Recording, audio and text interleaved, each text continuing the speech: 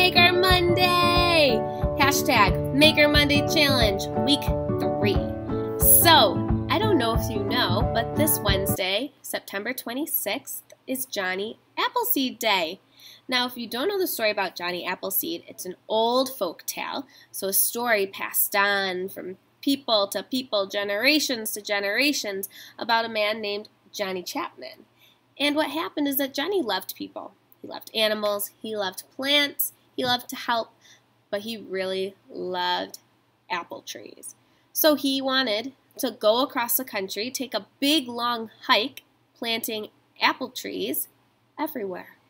So, as you may know, in New York State, we have a lot of apples, really good apples too. So for this week's challenge to go along with Johnny Appleseed Day, and I'll actually, if you want to know the whole story, I'll put a link down below. You can click it. It'll take you to another video all about Johnny Appleseed. Anyways, this week's challenge is going to be to create a seed spreader that can help Johnny Appleseed easily plant his trees. So you're inventing something new. Now, we all talked last week, two weeks ago, about an invention being something new and different. So you're inventing a way to make it easier to get seeds spread out across the country. Just like the last two weeks, go through the design process, have fun, be creative. Wild and crazy ideas are the best kinds of ideas.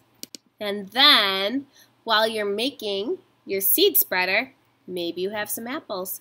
Maybe you have an experiment where you try lots of different types of apples and you write about them. What apple was your favorite? What did it taste like? What did it feel like? What did it smell like?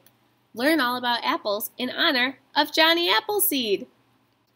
Have fun, be creative, and then share with me what you did. Good luck. I'll see you soon.